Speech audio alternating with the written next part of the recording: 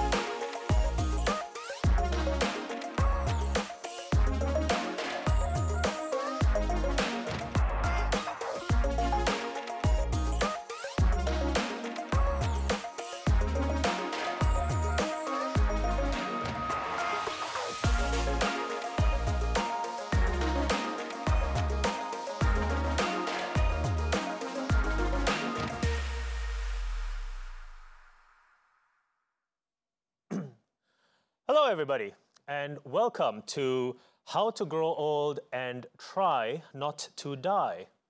Uh, my name's Neil Jeyasingam. I'm a clinical associate professor with Sydney University, a psychiatrist, and a human being. As a result, I am currently aging. Uh, that is a specialist word meaning living. So, how do we do that? How do we grow old well and try not to die? Today, we will hear from four experts in the field as well as um, me, uh, as we consider that question. After each talk, we'll be able to take a quick question from the audience. Uh, I'd ask you to raise your hand uh, and we'll invite you to speak. And we'll also try to have time at the end of, uh, for open questions to the panel. Uh, today's talk is being video recorded and will be available later from the Wisdom Connect website. So without further ado, I'd like to introduce our first speaker, Professor Perminder Sachdev is Chair Professor of Neuropsychiatry and co-director of the Centre for Healthy Brain Aging at the University of New South Wales, Sydney, and clinical director of the Neuropsychiatric Institute at Prince of Wales Hospital. His major areas of research are cognitive aging and dementia. He has published over 800 peer-reviewed journal papers and six books, and was named New South Wales Scientist of the Year for Biomedical Sciences in 2010 and awarded the Ryman Prize for contributions to healthy aging in 2022. Ladies and gentlemen, Professor Sachdev.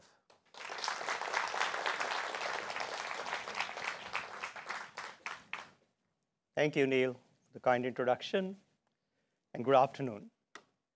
I presume you're here because you're all interested in living a long and healthy life, and perhaps some of you an exceptionally long and healthy life. Uh, now, the question I'm going to ask, in fact, pose to you today is, can we live 250? And of course, would that be desirable? Now, let me begin by posing a few questions. If it were possible, through new medical breakthroughs, to extend your life to 150, would you opt for it? If you were told at the age of 20 that you're going to live to 150, would you live your life any differently? And if all humans were to live beyond 120, and some maybe even up to 150, would that be better for mankind? Now, don't want you to answer these questions right away, but ponder over these as we go along uh, in this session and, of course, later. Now, we know that we are living longer lives uh, in the 21st century. But this is actually, uh, human longevity is actually a relatively recent phenomenon. If you look at this figure, uh, now going back to, uh, say, 1800, the average human lifespan was only about 32 years. And then fast forward 150 years to the mid 20th century, and we see that there has been a big significant change, but most of this change has happened in technologically advanced countries. And that early change was because there was a reduction in infant mortality. So overall lifespan at birth, this is what we're calculating at birth, that change occurred because of uh, because we were saving babies. But in the last 70 years, or maybe 100 years, there has been a reduction in late life mortality. And as you can see, around the world now, people are living longer. And the average lifespan is over 70 years. In some countries, including Australia, it's actually now in the mid 80s. And that's likely to go up into the 90s the, by the middle of this century. And if you actually look at, say, the plant and animal kingdom, you see examples of various kinds of lifespans. In fact, exceptional longevity is not uncommon in the plant kingdom. I mean, this is one example of a pine in the California forests, uh, in fact, in the United States. And this, this pine uh, is dated over to over 5,000 years. So it tells us that, yes, living organisms can have a very long lifespan, but is it restricted to plants? What about animals? We look at terrestrial animals. Uh, we see that most of these animals have a, a reasonable lifespan, uh, which can vary from a day to maybe several decades. And there's some variation in their age in, for different animals. But there is a, some biology which restricts that age, uh, the maximum age that uh, most animals would uh, be able to live to. The variation occurs in the time of death occurs because of number of other factors, including significant environmental factors. But there are some constraints that biology seems to have uh, posed. But there are some exceptions. If you look at some aquatic animals, uh, look the coral reef, for example, or you look at some fish, they live exceptionally long lives. And then there is very, this very strange example of what has been called the immortal jellyfish. Now, this jellyfish grows into an adult, but then under times of stress, it can actually revert back to a pupa stage and then start its life all over again. So literally, it is immortal. Of course, it can be eaten by another fish and, or, or die from uh, other accidental causes and all, but otherwise, it, is, to some extent, is immortal. Now, what does it say? One lesson I guess biologists get from this is that within the system of multicellular organisms, there are mechanisms by which life can be preserved for a long period of time. Now, why it doesn't happen in humans or a number of other animals we've seen, uh, that's what biologists want to understand so that they can hack that process, maybe hack death. That's what really biologists would like to do. Of course, we know that uh, the, the rec world record for longevity is held by this woman, Madame Calment, who died in 1997 at the age of 122 years plus. But she's actually been the only woman documented, or only person documented to have lived beyond 120 years. But when we try to understand why we die, why we age and die, uh, one simple way of looking at it is that because the body is made of cells, each organ is made of cells, and there are meta metabolic processes happening in the body all the time, which actually try to damage these cells and destroy these cells. And of course, the body has repair mechanisms as well. And there is a balance between cellular repair and cellular death and damage. And as long as you can keep that balance going through your life, you, are, you remain healthy. However, as we age, as uh, chronologically, the, balance seems to tilt a little towards more cellular damage. And that's why the organs become frail. And eventually, the system collapses. And there are many different processes. We, I've listed nine processes. We don't have time to actually discuss these today. In fact, this, these are the traditional nine processes. Now we've added five more. So there are 14 different biological processes scientists are studying to try to understand why this balance shifts towards more cellular death and uh, damage uh, from repair. And if we can actually try to understand them, perhaps we can intervene in some way and try to slow the aging process. Now, can we really hope to do that? Can we, are there examples that we can extend the lifespan of animals? So one very interesting example, this has been known for nearly 100 years, is that if you restrict calories in an animal, you can extend the lifespan of the animal. It's been shown convincingly in a number of uh, animals like worms and flies, even in mice, you can increase their lifespan by 30 to 50 years. Now, whether you can do that in humans or in primates, we don't conclusively know. But we know that caloric restriction improves your overall health, reduces obesity, diabetes, hypertension, reduces your risk for cancer, for cardiovascular disease. So it's good for you in a way. But the thing, what biologists would like to do is understand how this happens. What is, what is the mechanism? Because if you know the mechanism, perhaps we can come up with a drug so, so that you can take the drug and not have to restrict your calories, which would be having your cake and eating it too, in a way. So there are a number of drugs that have been tried. You probably have heard of drugs like resveratrol, which is in red wine, or rapamycin. But none of these drugs actually has worked convincingly in trials. Uh, so at the moment, we are still searching. And in fact, uh, I've listed metformin here. In fact, we are currently doing a trial led by my colleague, Professor Samaras at St. Vincent's Hospital, to see whether we can use metformin, which is an anti-diabetes drug, uh, uh, to slow progression of uh, brain frailty, so to speak. Or we could do what has been called regenerative medicine. Now, there are stem cells in the body. In each organ, there are stem cells, which basically are kind of ancient cells which divide, continue to divide, ability to divide. But as we age, our stem cell stock goes down. Now, can we replenish that stock? It is possible. It has been done in experimental models. Can we create new organs? And now, of course, there is bioprinting of new organs. You can replace an organ that if you have a very frail heart, you could probably get a new heart. Or you can rejuvenate by other means. And one very interesting uh, approach has been to actually use young blood.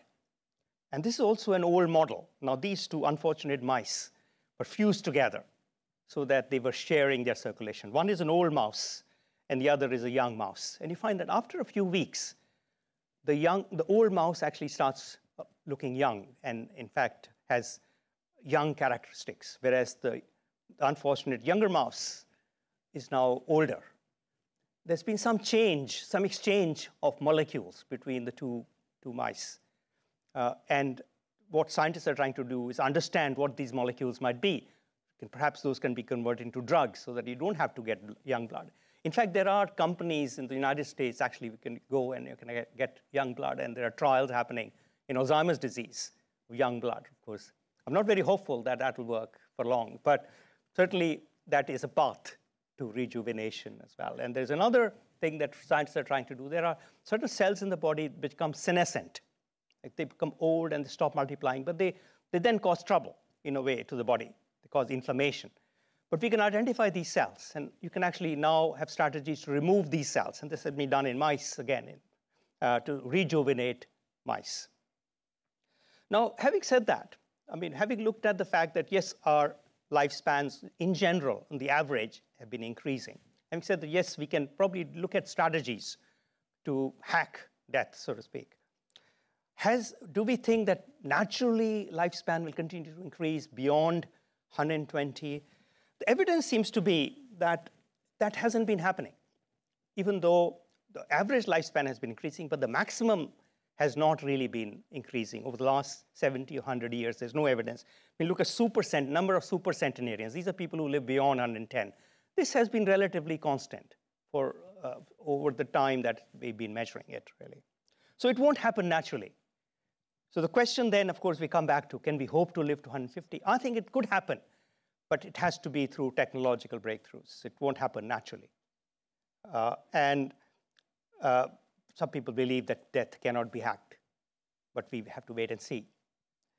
But we can reasonably hope to live to 100.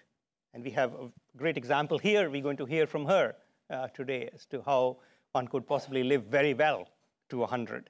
And of course, most of us will live into our 90s, and we can hope to live uh, independently.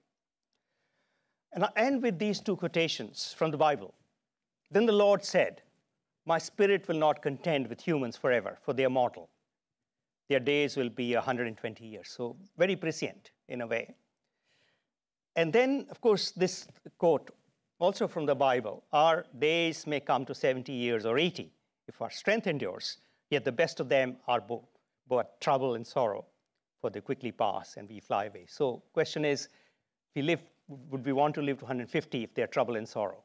So, and I, I leave you to ponder that. Thank you very much. I acknowledge uh, some of my colleagues from the center where I work uh, who are here and they distributed some brochures. And if you want to hear more about healthy aging, certainly uh, uh can uh, become members of our newsletter. Thank you very much.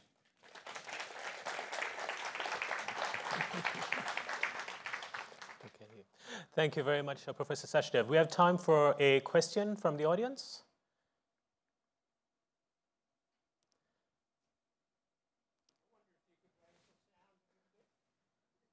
Uh, there was a question about the possibility of raising the sound. okay. All right. I might move forward then to, uh, oh, sorry, uh, you can hear me now? All right. I was just wondering if there was any, were there any questions from the audience? Oh, we do have a question up there. Yes, I'll, I'll try to project my voice. Um, and, and forgive me if you haven't seen this study, but there's been an interesting report of reverse aging recently. Thank you. Thank you. My name is Jeannie Walker. I, I'm, I don't have a medical background, so forgive me. I'm asking as a layperson. I read a recent report in the BBC Science Focus magazine about a new study into reverse aging by Duke University and Harvard. And it talked about how aging might be slowed down uh, uh, with trauma and um, with other events. Eh, sorry, BBC Science Focus magazine. They looked at both chronological aging and how DNA has been altered by a chemical reaction called methylation, something to do with cells. Would you mind commenting on this? I'm very sorry if you haven't had the chance to read this. I'm not familiar with this study in particular, but, but what, what happens, of course, see with DNA is, as you know, DNA, uh, you, you're born with a certain uh, genes, string of genes, and that's uh, quite fixed. You don't change that. But, but the expression of those genes, and that's really how they uh, actually uh, sort of convert into signals and uh, proteins which form the body, that is dependent upon certain characteristics of the genes, and one of those is uh, the level of expression. And that expression is determined by methylation, one as one. There are, it's called epigenetics, really, rather than genetics. And that methylation can uh, be influenced by diet and uh, also by lifestyle. For example, smoking is a major factor in uh, actually influencing methylation. Uh, so it can be both good as well as bad. And good methylation could lead to uh, rejuvenation, definitely. Uh, and we could possibly do that. In animal models, one could possibly do that. Of course, in animal models, genetic manipulation has also occurred, and that can also prolong the life of animals. But uh, it's not likely that in humans we will ever do that. But certainly with epigenetics, if we can work on epigenetics, that is a possibility that we can uh, that will uh, that basically determines how uh, the, the gene is translated into protein, in, into function. Thank you. Thank you. Uh, so in the meantime, Professor Sachdev, it's uh, diet and exercise, yeah? Yes, and, and mental stimulation uh, uh, for the brain as well. Yeah. Right. Okay. And social health. I think social. I can do that. Yeah, Yeah. that's okay. Um, right. Uh, well, I'd like now to invite Dr. Lisa Mitchell, uh, a medical doctor specializing in the care of older people. She will not be speaking, but rather she will be interviewing our next speaker, Ms. Patricia Segal. Mrs. Segal is a role model for aging well. At the age of 98, she still lives independently in her own home. She is an avid reader, designs and sews clothes, and has recently taken up painting. She enjoys close contact with her son and daughter, grandchildren, and great grandchildren, as well as an active social life. Ladies and gentlemen, Ms. Patricia Segal.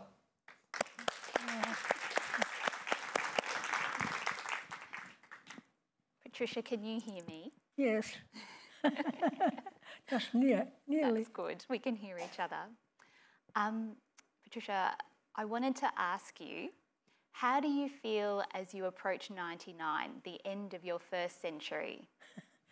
Well, I've been very lucky all my life, so I've never had anything to complain about. So I've had, I've had a wonderful time. That's good. Well, you've certainly, um, it's good that you can say that you've had a good life.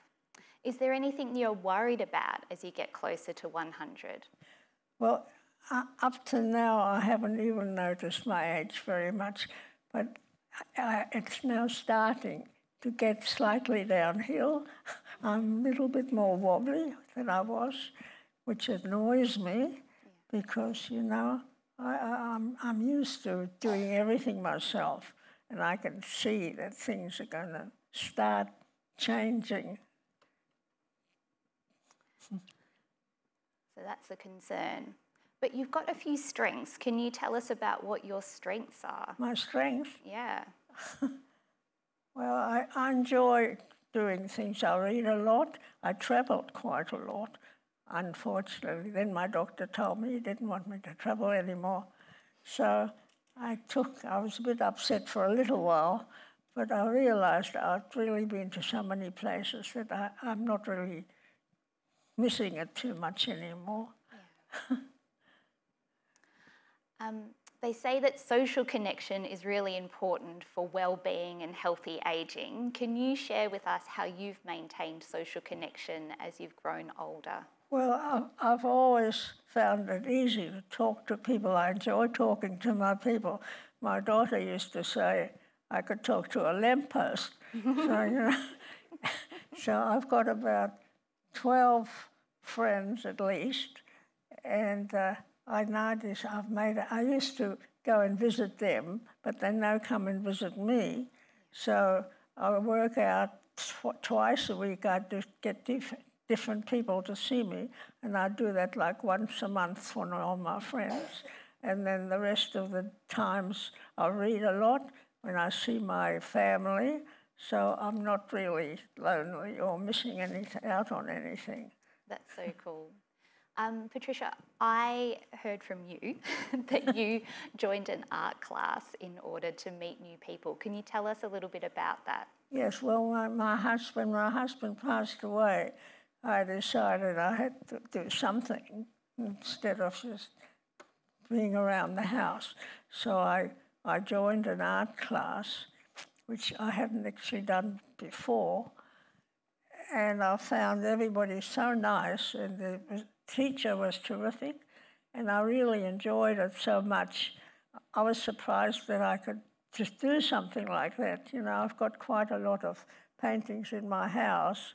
A lot of them have gone to my children and grandchildren. Uh, so for about seven, the last seven years, I've gone to painting class once a week. And they've also met friends there. And then they come to me and we share lunch. We've got a lovely restaurant downstairs. We share lunch and then they come upstairs to my place and have coffee and cake. That it keeps me busy. That's so cool. So you've like learned a new skill and you've made friends all at the same time. Yes. You've been doing that for seven years. Can you just tell us how old were you when you started art classes? Uh, 90 ish, over 90. That's really Yeah. cool. I've always been the, the oldest lady everywhere. Um, a lot of people really struggle to make friends. You came up with a really great strategy of asking your grandchildren if you could meet their grandmothers. Can you tell Oh, us a bit told, about that? Who told you that? Also, people, you don't have to get the 4A app to meet three strangers. You can just. Uh, so, Yes. can you tell us how you did that? Well, that's that's what started it off. So they they got me in touch with about three people. The first lady was no, no good. and she rang me every five minutes, and she wanted me to know where I was and what I was doing, and she was going to do this and that. In in the end, I just had to stop answering her. Yeah.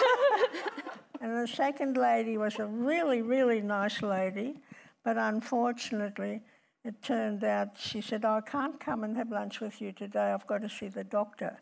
And then she found out she was quite ill and she actually passed away. But number three was terrific, and we used to have her once she wished to come. She lived in Dover Heights, so it wasn't far away. She would ca- catch the bus to my place, and we'd have lunch downstairs. We shared lunch, and then we came upstairs to my place. And that, that was quite a few years, but she's passed away since then too. I'm sorry, Patricia. So it sounds like you ghosted the first one and then the other two became Yes, ghosts. So that's yes. the downside of friendship. And then, then I found out, just it just occurred to me recently, all my friends are at least 15 years younger than me. Well, I don't know what they call that in the uh, friendship world, but it sounds like you're, uh, I don't know, doing quite well with your friends. Yes, I um, haven't finished yet. That's really cool. I think that that's really, really important. Is there any age that you would like to go back to? no, never. I've never wanted to go back. Why, why go back? I had good things when I was younger, and I've still got good things now, so I didn't feel necessary to go back. Perfect. That's so good. And not wanting to go back, what are you looking forward to? Now, that's a difficult question. I ca- I can't honestly say I'm looking forward to getting older. Uh, I, I just, I don't want it to stop, but unfortunately it will. It's just starting to very slowly come, you know, little things turn up that I didn't have a problem with until now. But I, I just, I'll, I'll look forward to check what my grandchildren are doing at school and how they're doing. but I, you know, I, I can't think of anything that's going to get better. So I'm happy to be the way I am now. Perfect. All right. Thank you so much, Patricia. It's, It's such a pleasure. to talk to you. um, I'm going to hand over to Neil now. So I'm just going to introduce Neil again, and he's written some notes. So Neil has already introduced himself, but some people came in a little bit late, so I'm just going to refresh everyone's memory. So I would like to introduce Associate Professor Neil Jeyasingam, who is a psychiatrist in public and private practice. So if you do need a psychiatrist in Sydney, um, I don't know what your waiting list is like. Uh, he is also a clinical academic at Sydney University and has an interest in ageing as he is an old age psychiatrist, but also because he's human. And he is apparently playing the long game and intends to age well himself, which sounds like a good idea. Uh, so thank you very much, Neil.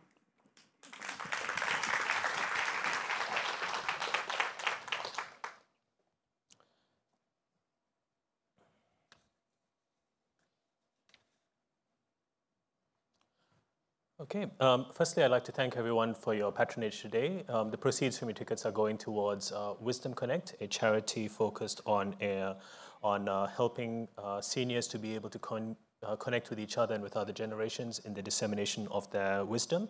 Uh, for more information, please have a look at the website. So, uh, today's talk, I shall be going into excruciating detail about theories of late life personality and psychosocial development with a special focus on societal factors and metaphysical epistemology, or how to grow old and to try not to die. And how to not die is. Uh, is, that, is, it, is, it, is the good thing about it is that we kind of know how to do this already. In fact, we're wired into this.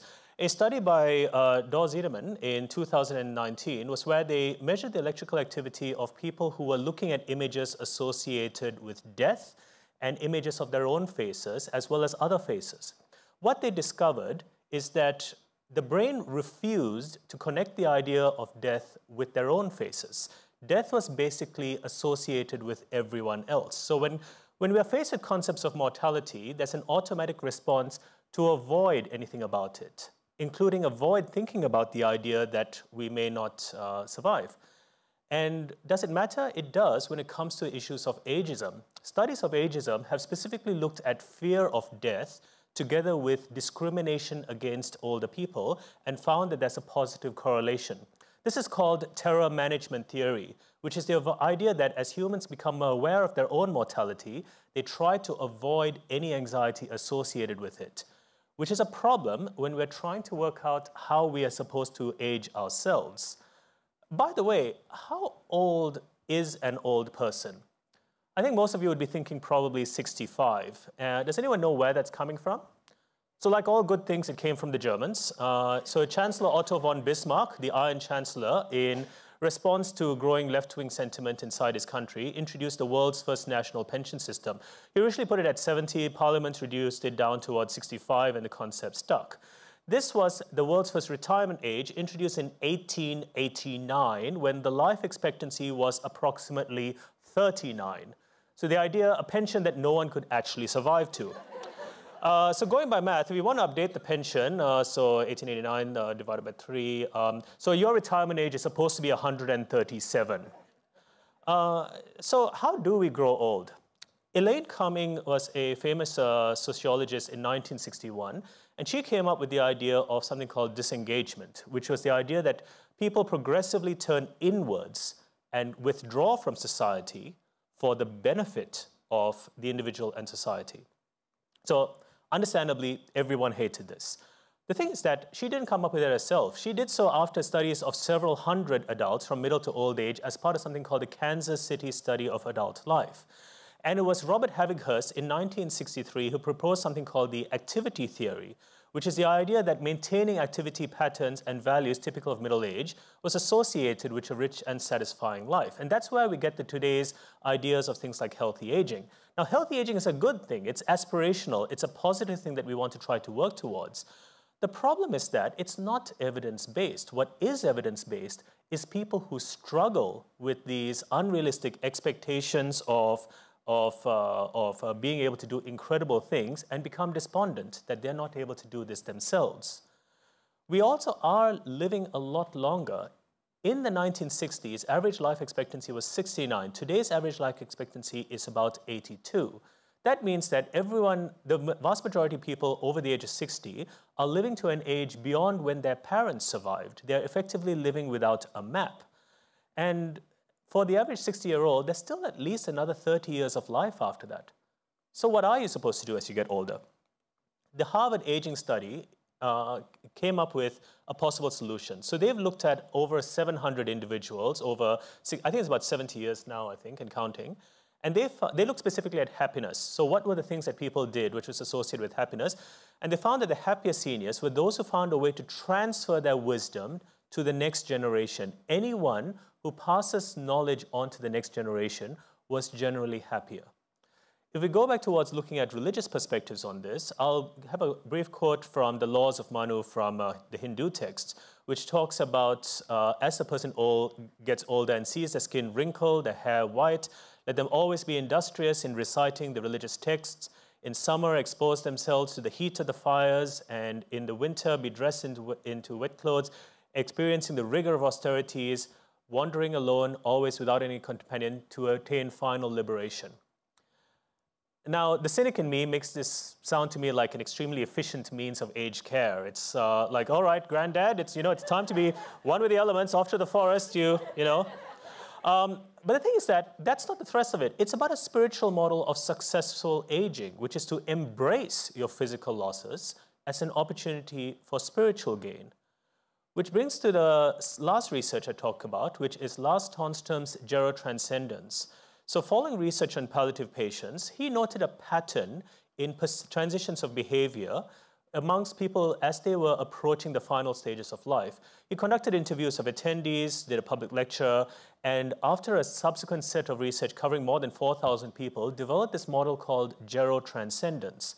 It's a very complicated set of behaviors that occur that starts out with a cosmic dimension, with uh, changes in how people perceive time, connections to earlier generations, contemplation of life and death, accepting the mysteries of life and transcendental sources of happiness, with the first stage being disengagement.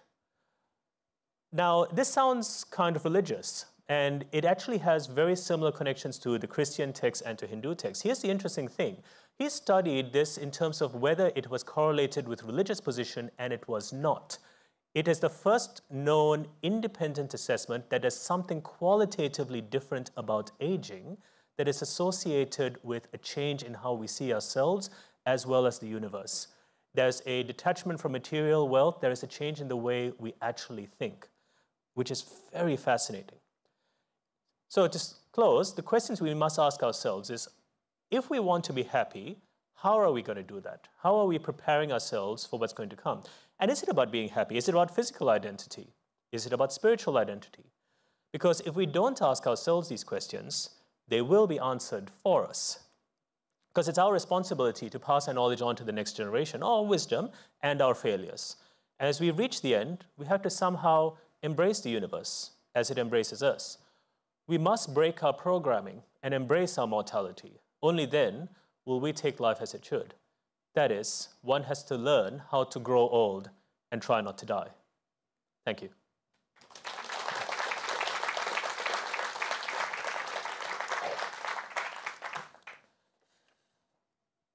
I'd now like to invite Dr. Ruth Wilson, the author of the Jane Austen Remedy, which is the outcome of extensive reflection and a PhD completed at age 88 a pioneer of intergenerational projects in schools, she believes it is a truth universally acknowledged that a book can change a life, which sounds somewhat familiar, come to think of it.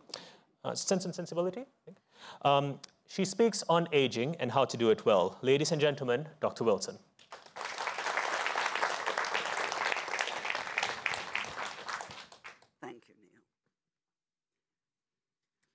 Thank you for the introduction, Neil. Good afternoon, everyone. I would like to acknowledge again the traditional owners of the land on which we meet and to express my pleasure in being here today. Is it not astonishing to hear that it is neither foolish nor ill informed to anticipate or at least speculate that in time we humans might live well, longer, feel well, even beyond the symbolic age of 120. And yet, here's the thing I am equally astonished by the fact that at 90 years of age, I continue not only to feel well, but even to feel that I am thriving. And I am not alone. You have probably noticed people of my age everywhere. We attend concerts to listen to music. We visit art galleries to examine paintings. If we are talented like Patricia, we even create our own works of art. We eat and drink in restaurants and we load our trolleys from the shelves of the supermarkets. Some of us are less mobile than others. We stoop or use walking sticks or walking frames. But we nonagenarians are here, there, and everywhere. We are, it seems, not over the hill. By contrast, my parents' generation bought thousands of copies of a self help book that was published in 1932. It comforted them that they were not over the hill at 40. In the way that new ideas often do, the title of the book entered the public consciousness via a song Life begins at 40. In your 20s and 30s, the song goes, you are just an amateur. When you reach 40, that's when you become a connoisseur. My father, who died when he was 65, loved the song and he loved the message that life would actually improve as he got older. Many men did. For women, it might have been more problematic. Life might begin at 40, one female reader wrote, but so do rheumatism, fallen arches, and the habit of telling the same stories many times over to the same bored listeners. Hereby, of course, hangs another tale, and I think it might be one about gender rather than age. I can sense a similar hashtag moment in current attitudes to longevity. It is the good life we value at any age, rather than the long life at any cost. And I'm here today to share with you a story of how, in this era of improved health care and better living conditions, my life began to flourish in 2016 when I was in my mid 80s and returned to the University of Sydney, from which I had graduated almost half a century earlier. Taking a step back, I had experienced a transition at the age of 40. That was when I returned to work as my children grew older, and I spent the following 20 years doing the things that busy women do juggling family, work, and social activities. Then, as I approached my 60s, an unexpected melancholy seemed to settle over my life. I suppose I sensed the passing of what is called the use by date, as I lost my hearing and experienced physical symptoms that interfered with every activity of my day to day life. What to do? First, perforce, I retreated from my working life my volunteer activities, and my roles in organizations. Then I had counseling. I was told that the medical condition I was experiencing sometimes mimics depression. I've always loved reading fiction, so to distract myself from my increasingly perplexed state of mind, I decided to read the novels I had long neglected for want of time. And most important, as it turned out, I also decided to reread Jane Austen's novels because over the decades, I had always found time to return to their light, bright, and sparkling world of dances, picnics, and romance. As I immersed myself in their fictional universe, I was distracted from my negative feelings and before long I was experiencing sheer pleasure as I caught up with new books and reread old favourites. I felt that I was meeting uncannily familiar human beings in the complex fictional characters that came to life in the pages. And my understanding of the profundity of Jane Austen's shrewd observations of society increased during robust discussions about her characters, as well as her language, style, themes, and plots with my new reading friends. One of the reasons for this sense of regeneration, and I think the good professors might agree with this, is that the neural machinery in our brains operates best when we undertake activities that connect us socially and intellectually to the world in which we live. In my case, reactivating my brain by reading and rereading fiction gave me, in my 80s, a renewed appetite for life and what it has to offer in the here and now.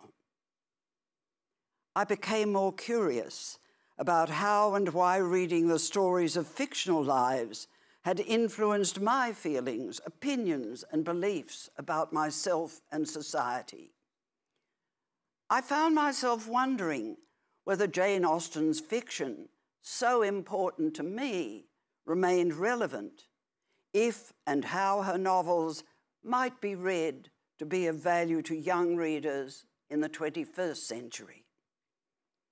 The process on which I then embarked as I wrote a PhD dissertation with this focus opened my mind to a new world, a new understanding of how my own lived experience of reading had influenced my feelings, my thoughts, my conduct.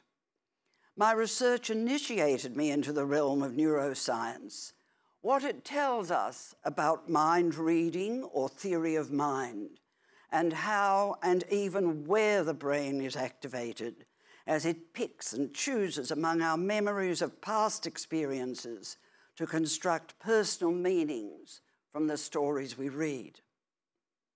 I learned how pleasure and cognition overlap as literature plays in the brain. I marveled at the relatively recently recognized plasticity of the brain, the astonishing levels of cortical activity generated by the act of reading. And I discovered speculation about the crucial role of receptors and mirror neurons. In this way, I not only learned how the brain works, my own brain was given a vigorous workout to boot. I went on to write a memoir that I called Jane Austen's Remedy, appropriately, because that's what it proved to be. In that book, I have paid homage to my favourite novelist, Jane Austen, and I have celebrated the ways in which reading fiction has allowed me both to lose myself in times of stress and to find myself in moments of distress. The ways in which reading and rereading have nurtured me have given me a second chance to flourish.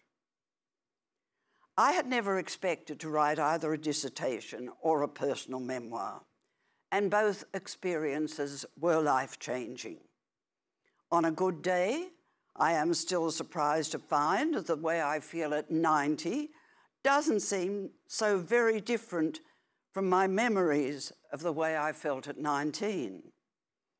On a day when I am troubled by aches and pains, I riff on an amusing line spoken by Eliza Doolittle, the heroine of George Bernard Shaw's play Pygmalion, so that she might say of me, when the time comes, it was the rheumatics that done the old lady in. and then to challenge Eliza, I riff again, this time on the more celebrated opening sentence of Jane Austen's novel Pride and Prejudice, and improvise so that the famous sentence reflects my own situation. It is a truth universally acknowledged that an older person in possession of a large library need not be in want of a good life. Thank you.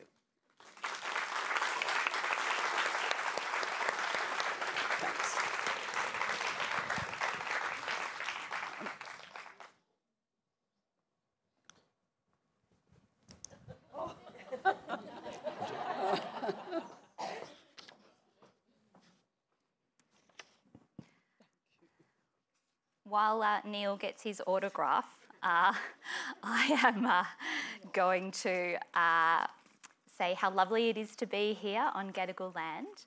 Uh, how lovely it is to have an audience to hear our, very uh, interesting panel. I'm from Geelong in Victoria. I'm going to take a leaf out of Patricia's book and I'm going to invite you to come to my house for a cup of tea. Uh, Geelong is a beautiful place, but I would just have to flag early on that there is no Sydney in Geelong, so uh, you might be disappointed a little bit. Um, so I'm going to summarise essentially what we've covered today. Uh, so Perminder has talked us through the science of living to 150, and then perhaps fortunately or unfortunately dashed our hopes explaining that it's not currently possible based on our own biology unless there's a technological hack, or unless you're a sturgeon uh, or a, what was it, an immortal jellyfish, which I don't see any of them in the audience today. Patricia has shared with us her experience of living through multiple decades. Neil has encouraged us to let go of our fear, embrace mortality, and learn how to grow old. And Ruth has demonstrated how powerful shifts in perception can be and what might be achieved in later life.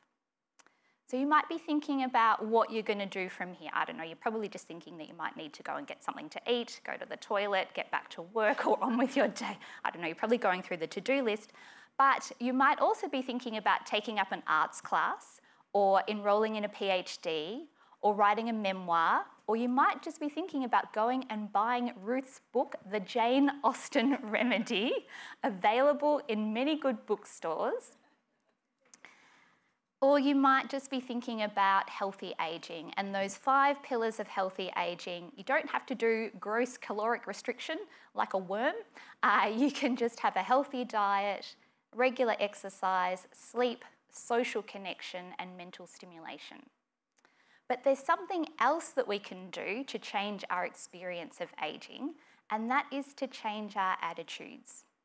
So it's probably not a shocking thing if I flag that some of society's attitudes towards getting older are a little bit on the negative side. Some people might even say that there's a bit of ageism, where ageism is those stereotypes, prejudice, and discrimination that we have towards other people or even ourselves based on age. We can have ageism towards younger people, it's quite prevalent, but I guess our main concern here is about ageism towards older people. It's very common in surveys around the world. One in two people have uh, negative attitudes towards older people. And in Australia, many older people report experiencing age based discrimination. Like Ruth told us before, older people are everywhere, but so is ageism. It's very normalised. It's so normalised that we often tend not to see it.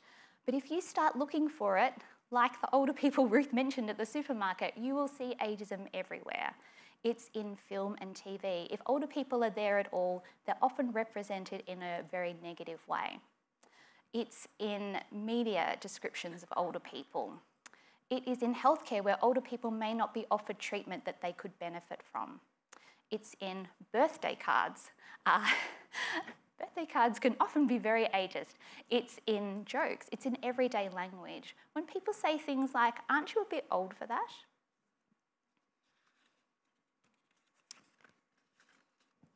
Ageism is harmful. In lab based psychological studies, when older people are shown negative material about age, they tend to perform worse on tasks. People who have negative attitudes towards ageing tend to develop worse health over time and have a reduced life expectancy of up to seven years compared to people with positive attitudes towards ageing. Now, I know everything gets compared to smoking, but ageism is almost as bad for you as smoking. Um, I don't think that's like encouraging people to take up smoking, so just, just want to say that. Um, ageism can lead to social isolation, financial insecurity, and reduced quality of life. Stories like Ruth's and Patricia's are really interesting to us because they go against our usual beliefs about what it is to be an older person. The most common stereotype of the older person is as someone who is warm but incompetent. Um, Stereotypes are uh, not always harmful. I guess there's a bit of a debate about that. But Neil talked before about terror management theory, about one of the theories of why ageism occurs. There's another theory when it comes to ageism called stereotype embodiment theory. It's by Becca Levy, if anyone wants to look it up. But the idea in this theory is that over the course of our lifetime, we're being exposed to these stereotypes, these beliefs about aging and we are absorbing them and internalizing them. So it starts from a very young age when we were reading books about wicked old witches, when we're watching television shows about cranky, feeble, stupid Grandpa Simpson. We are absorbing these ideas, uh, internalizing them, and they eventually become our own beliefs. And if you believe that older people don't exercise, don't take preventative health measures, don't have sex, and don't wear skinny jeans, when you become the age that is what you think to be an older person, it's very unlikely that you're going to do those things. I see this in my clinic. It's like Ruth described before that she got to a certain age and she started retreating from life. And I see this too. It's like there's a little timer that is going on inside us all the time. And then at some stage, something happens. So a person might look in the mirror and notice that they seem old. Or they might have a significant birthday, I don't know, 90, 40, whatever it is, that they suddenly start to embody these stereotypes. Becomes a self fulfilling prophecy. People become what they think an older person is, and this in turn perpetuates the stereotype. Now, there are three things that have been proven to reduce ageism. So, one is policies and laws that reduce age based discrimination. The other two are education and intergenerational contact. And I feel like we've been doing a little bit of that today. So, intergenerational contact is, uh, as opposed to the technological hacks that we might need to live to 150, it's very, very low tech. It is when older people and younger people spend time together. And the thing about education and intergenerational contact is that they help to dispel some of these myths, these negative ideas about ageing. So, uh, I guess our call to action to you, tying everything up from the panel together and linking this to the, uh, the themes of the Vivid Festival, is that we hope that you will go away and to continue to challenge your ideas and beliefs about and assumptions about ageing, about what it is to be or become an older person, about uh, dying, and about how to grow old. So thank you.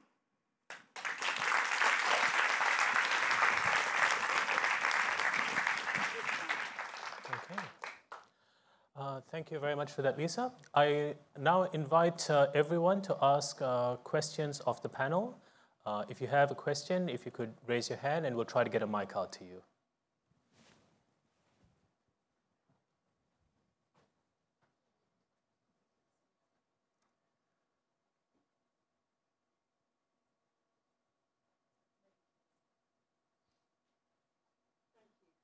Terrific panel. Can you hear me? Yes, yes. Um, I've got a medical question. Could could someone with a science background on the panel talk about telomeres and about the renewal of telomeres and whether that is an important aspect of living well longer? And also, could either Patricia or Ruth comment on an experience they've had of ageism and how they've dealt with it? Thank you. Perminder, would you like to take that one? So uh, with telomeres, uh, so if you uh, look at, so you know the genetic material comes in chromosomes, packed in chromosomes, which is in the nucleus of the cell. And if you look at, uh, these are uh, two actually parts of a chromosome.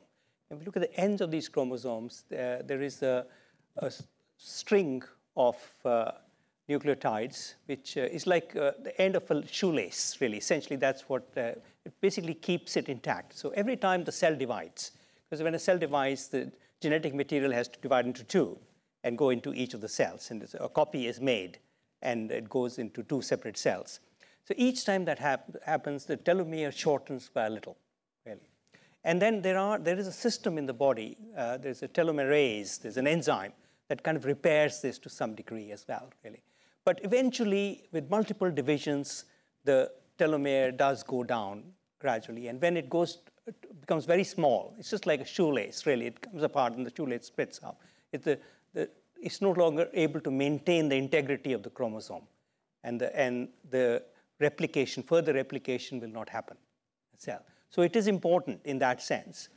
And there has been some suggestion that the length of the telomere uh, may be an indicator of your biological age. It's not as good as we talked about epigenetics or methylation of the chromosome. That's probably a better indicator of your biological age.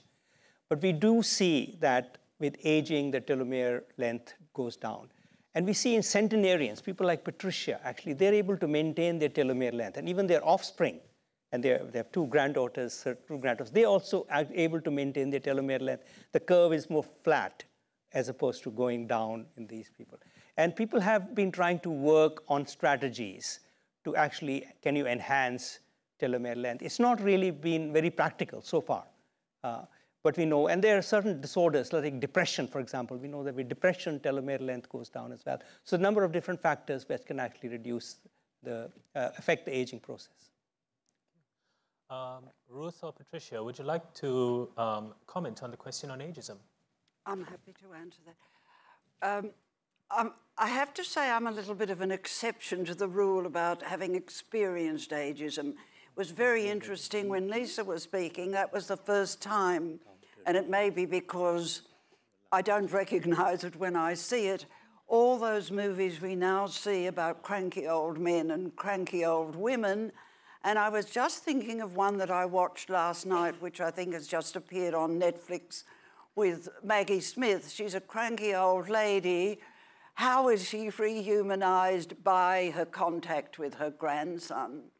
And I have to tell you, one of my pleasures is that I received a text this morning to say that my grandson was coming from Newcastle today to be here with me. So I think the more contact we do have with younger people, and I mean, the question of elders and wisdom, I think, is also a vexed, a vexed one. Not everybody is, wi- is wise. Not when they're young, not when they're middle aged, not when they're old. And I think there are some realities we need to understand. But I think the more we have intergenerational programs in our schools, the better off children would be, the more they would grow, grow up with a sense of civility and kindness and courtesy towards older people. Thanks for the question. And I, I might just add to that. Um, I agree with you very much that not every older person is wise. But one of the important things about an older person is that they have more experience. One of the best bits of advice that I once received early in my career was that you have something to learn from everyone you meet, and sometimes you learn what not to do, uh, which I think is important. Sorry, there's a question over there. Would you like to say anything about ageism? Sorry, I can't. Hi, it's just a question for you, Dr. Neil. Um, I was interested in what you said about disengagement and how that can be like a positive thing.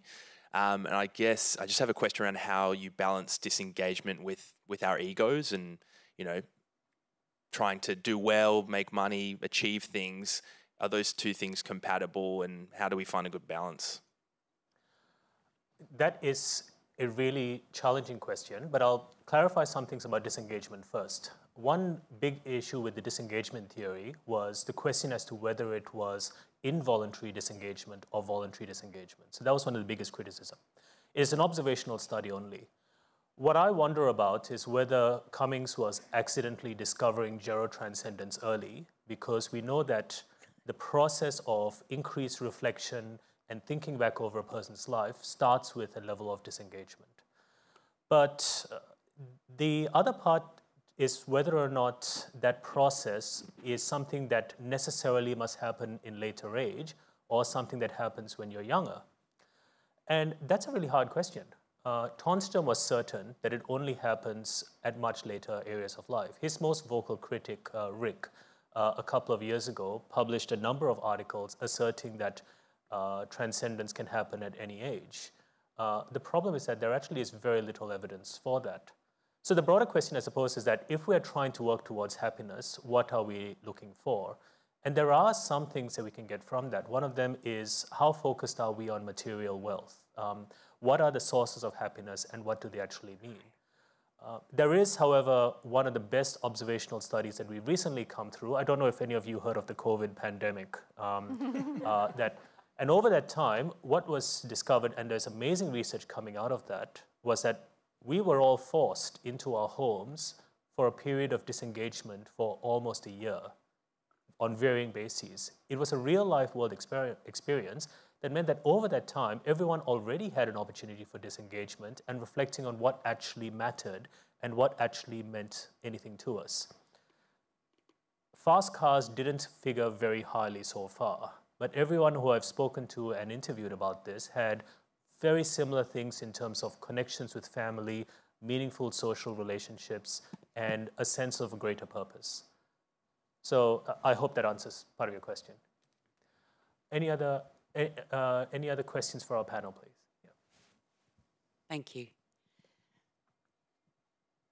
I think mine is a sort of general question. One of the reasons I came today was in part of the promotion, it said something about how aging now can feel like a competition. And personally, I feel more pressure on me now, and I'm 68, so I don't really regard myself as being in the, uh, the same age as these wonderful women we've heard talk today. And I, ju- I, I just wondered whether people f- feel a similar thing. The pressure to exercise, people who are obsessed with getting their 10,000 steps up a day or whatever it is, that I, I actually experience a bit of shame if I'm not doing that. I experience a bit of shame if I suddenly decide to have egg and chips for dinner. And I, I just wondered if other people felt like that. And I was very uh, reassured to hear your slight um, bump in the road in your 60s, I think you said. Because um, personally, I, I don't really regard myself as old, but I do find myself retreating more and, and somehow not having the energy to deal with certain things. So that, yes, that's my question. Just wondering whether people generally feel this pressure. Would anyone have a response to that?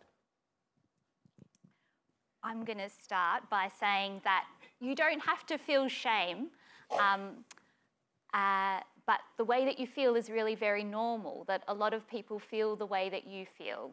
At any age, I think that everyone feels pressure to be doing certain things. Um, so that's the first thing to say. I guess, I don't know, and Neil might be able to comment on this as well, but that's kind of like the, I guess, the downside of having this concept of healthy aging or encouraging people to take steps to kind of optimize their health and well-being as they get older is that firstly, not everyone can do all those things that we're encouraging them to do. Uh, not everyone can have a healthy diet or exercise regularly. A lot of people have difficulty sleeping. A lot of people experience loneliness and can't make social connections. Uh, and not everyone has opportunities for you know, meaningful mental stimulation. So these things are not accessible to everybody. Uh, and the other thing is that sometimes people might do all of those things, but they'll still experience ill health and disability uh, and the, I guess, the uh, unpleasant things that can happen to people as they get older. In 2013, the um, uh, the um, uh, the Human Rights Commission, uh, the Human Rights Commission, and the Disability and Aging Commissioner in Sydney uh, commissioned a study looking at how people defined age. And they had focus groups of people who are under 50 years old and over 50 years old. Under 50 years old, almost without exception, everyone defined old as being of age 65 and older. Over the age of 50, people had a huge range of answers, and it was generally about some sort of socio-economic uh, position that they had not yet reached with, with uh, when I'm admitted to a nursing home, that's when I'm old. When I'm no longer able to go outside or to drive, that's when I've grown old. And it's this constant idea about the problem of now I'm old, I'm past it, with that fatalistic idea, rather than recognizing, as uh, Professor Sachdev was talking about, that it is part of an ongoing process, that we are always aging. Um, the, uh, uh, even, even my 10 year old in the audience is currently aging. We are all, because aging is just living, there is always a process of change, which is about um, some things getting better and some things getting worse. The problem is, and what you just described, I'm very grateful for that comment because it's got an excellent evidence base. We know that there is research that uh, people feel pressured by images of healthy aging. And if there's one thing I've known for certain, it's that there is no way, no single way to grow old. Uh, what I'm fascinated about is all the interesting changes that happen to the mind and to our psyche as we do grow older. And I really wonder what kind of person I might be at 90, which comes back to what Dr. Wilson was saying, that she found a completely new identity just in the last 10 years of her life. Would you like to comment? Yes, I would like to add something. Um, I think possibly the most fulfilling thing I have done in my life, apart from having children and bringing up a family, of course, was the writing of a memoir. And of course, it helps if you have a publisher, that gives you the motivation, and it is a tremendous. But if you have the willpower, I really believe what we all crave at every stage of our life is some form of affirmation. Maybe by the time we get to our 60s, we're not getting that affirmation anymore. We're not in that active stage of life where we're getting, uh, where we're being bolstered by other people's good opinions. I found in writing the memoir that what I actually achieved was self affirmation, and that was even more important than the affirmation itself. The fact that I could go back and think about all the things I had done, even the things that weren't so pleasant to remember, but think about them again and ponder on your life and ponder how you might have done. It sounds like a very interior thing, and I happen to like the interior life. I think it helps. But I really think maybe just write it all down. And there are memoirs pouring off the publishers out of the, on the press today. Everyone is liking to read them because I don't think you're on your own. Everybody is feeling the need to understand how other people, as they grow older and as they, as they face challenges, how they're actually dealing with them. We have time for one more question.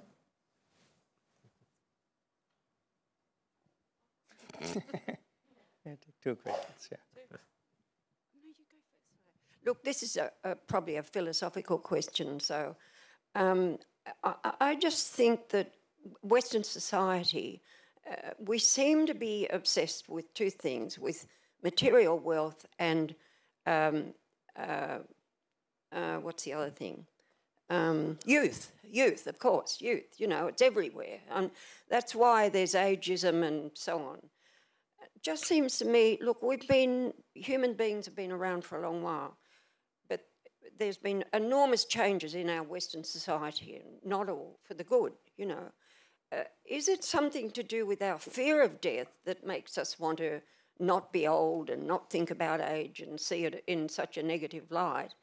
Um, because are there, were there other times earlier in the human evolution when, you know, aging was revered and looked to and people were more accepting somehow or other of, I don't know, whether it's death or what, but, you know, they were more accepting of older people and, and the wisdom of older people. So I don't know what my question is, but anyway but well, I, I think I can uh, I think I can also address one bit of that. There is only one society consistently which has seemed to have the idea of the older person having some sort of a role, and that is the Japanese, which is quite unusual. That compared to everywhere else in Southeast Asia, even I mean, you do see more veneration of older people, but they don't have that position in society as being seen as ongoing sources of respect and inclusion in society that you see anywhere else in the world. And it actually has been reflected in some of their psychiatric statistics because we don't see the same sort of late life mood changes in Japanese older people that you would be seeing in virtually every other society. Um, so it's doable, and we also see the impact of that. And that's part of why we have an event like this to think about what our social attitudes to aging are, as, uh, as uh, Lisa was speaking about, because if we are able to make those sorts of changes, it's going to lead towards something better for us. So I'd have to close it at that point. Um, I would, uh, first of all, like to thank uh, our speakers. We have a, little token of uh, appreciation towards uh, Professor uh, Sachdev, uh, towards Ms. Segal, Dr. Lisa Mitchell, and to Dr. Ruth Wilson.